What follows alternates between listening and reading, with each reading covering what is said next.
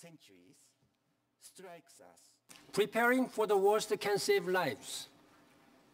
That is why we need early warning system, disaster education, and resilient uh, structures. We have an invaluable tool in the Hyogo framework for action.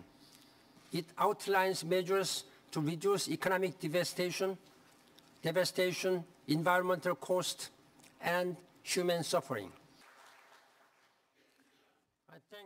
While we work for prevention and mitigation, we must also address the fundamental threat of climate change.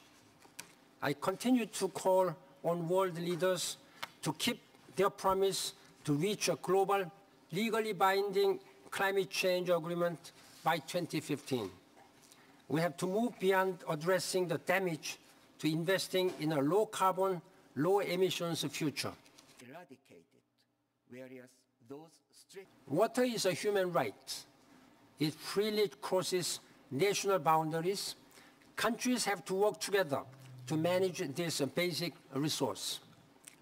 The year is also an opportunity to forge international partnerships that reduce the risks and impacts of water-related disasters. Hamana Lake was annihilated.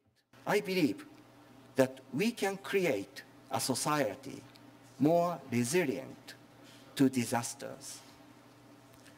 We can turn chains of disruption into chains of recovery.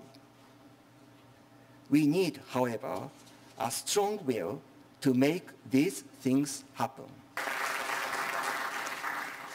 I now